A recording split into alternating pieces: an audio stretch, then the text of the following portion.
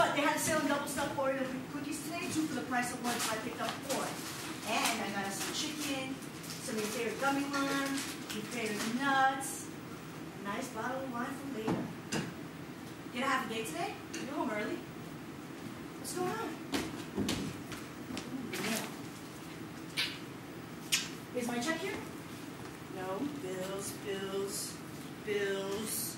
Why would my check be here? What's going on? Hello. Hi. Nikki, I got a letter. a letter. What is it? I don't know. Did you open it? No? Who's it from? Don't know? No return address? No. So, So, so you're gonna open it. no. And how are you gonna find out?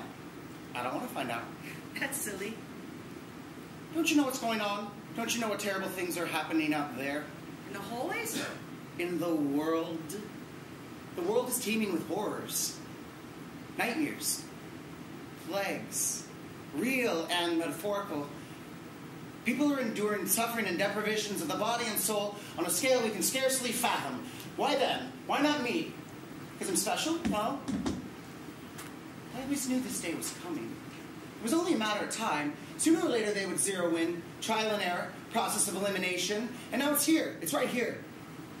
This letter with no return address, no distinguishing features, nothing about it but an inescapable aura of doom. Why was it sent to me? Why today? Because it's my turn. Nikki, I don't wanna listen to this anymore. I just wanna fuck. Does it make sense to be beaten to death? To be raped by your parents? To be bashed in the head with a hammer when you're waiting for the subway? No? But it's happening right here, right in this very city, right this very minute. You could be walking down the street, minding your own business, whistling your happy tune, enveloped in your own cozy cocoon of ignorance, and suddenly you're face down on the sidewalk, drowning in your own blood, cut down by a box cutter, or a bullet, or a, a runaway cab, or an exploding gas main, anything, for no reason. I mean, it, does that make sense? Is that logical? Nikki, but you're talking as if it were logical. You're talking as if it was part of some huge plot, predestined, when in fact, everything you just mentioned is completely random and uncontrollable. Yes, bad things happen, but good things happen too. Look, I know you've been a little depressed lately and things haven't been breaking the way you wanted, but things will get better, I promise. Can you please stop imagining the worst? Let's have a good time, Nikki. Come on, forget about it. Come on, Nikki. Please.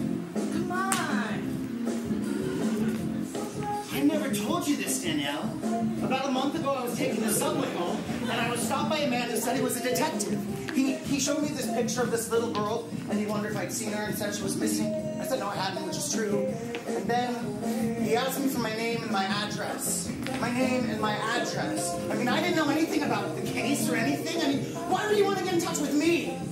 Standard police procedure, I suppose? Standard police procedure. Standard police procedure.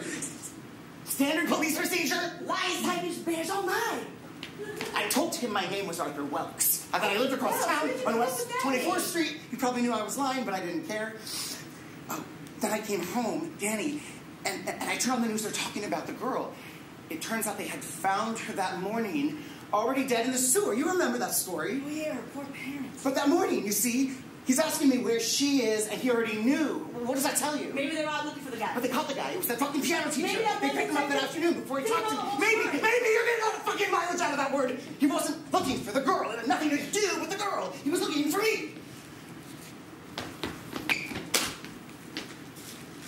I'm gonna get some wine. You want some? I think you need some. Okay. okay. Okay. Try this. A week ago, I get a phone call from this woman who's trying to sell me a credit card, like Platinum Visa. You know my credit history. That doesn't matter. They call everybody. Oh, that's the beauty of this whole operation. It's all explainable. They're offering this amazing 4% APR, consolidate your debts, blah, blah, blah. So I thought, what have I got to lose? You know what I mean? Not thinking.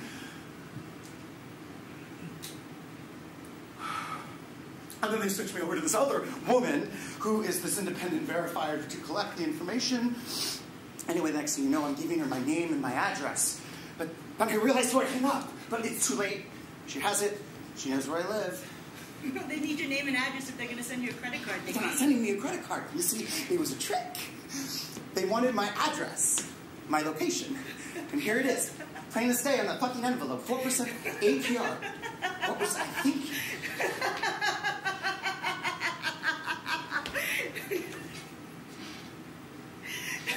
You think that there was a connection between the detective and the credit card company? It was the same voice. Same voice! Nikki, the detective was a man, the verifier was a woman! It, it was two different people maybe, but it was the same voice. You don't understand. Nikki, I want to understand, but you gotta make some sense. It's not supposed to make sense.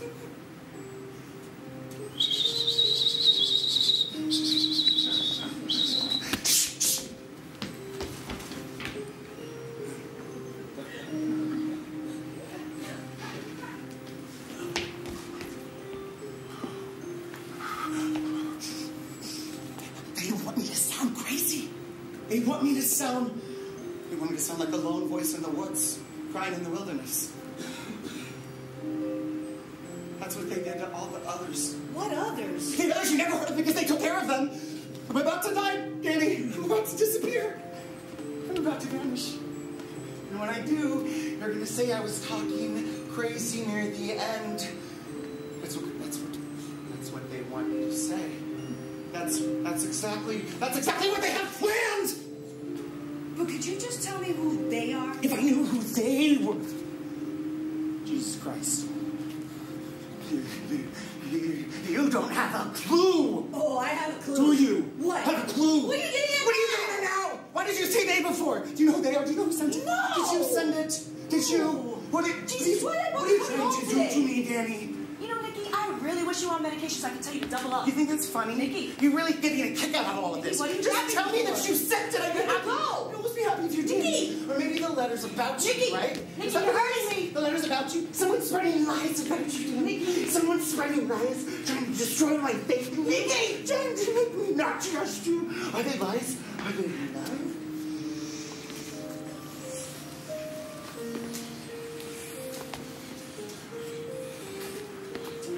Hurt?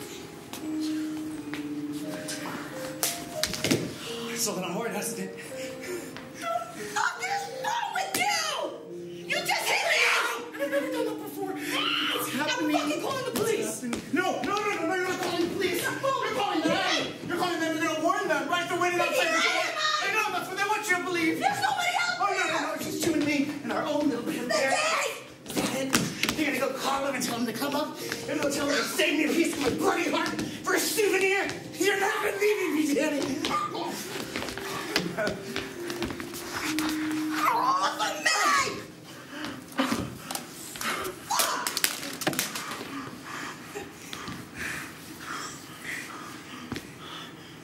That's it. I'm done. I'm leaving.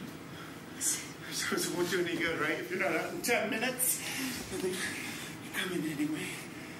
You know what, Nikki? I'm gonna bring people back. No, No, no, so, somebody that can I understand. you. No, Nikki, you, you don't understand. You don't fucking understand, Nikki. You see this, Nikki? It's just a fucking letter. A stupid fucking letter. No anthrax, no poison darts, no explosions. A fucking letter, Nikki. I never knew when this moment would come, Danny, but I always knew when it came you would leave. I always knew when it came that I would be alone. You are alone. You crazy fuck. And you wish this insanity into existence. You did this on your own, and now you're fucking stuck with it because I'm done, Nikki. Ah, what are you thinking? Why would anybody want to fucking kill you? Hey, others, do you give a fuck about Nikki being alive? No, nobody fucking cares about you, Nikki. Nobody. And you know what? I fucking told you. If you ever, ever laid your hands on me, I was never gonna stay again. I'm leaving, Nikki. I'm done. You know what? Guess what? There's a ton of chicken and rice in the kitchen. Make your own fucking dinner, you asshole!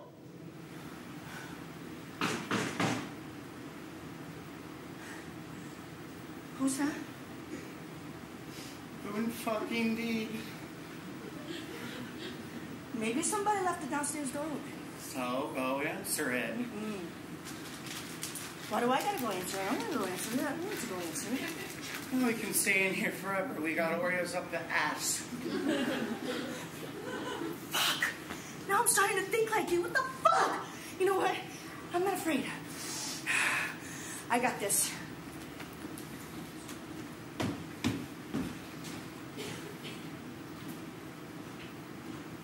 It's from LL Bean. Sure it is. What the fuck would I order from LL Bean? No, it's for me. Oh. What did you get? Gore-Tex Muckalux? Seersucker shorts? You didn't get anything, did you?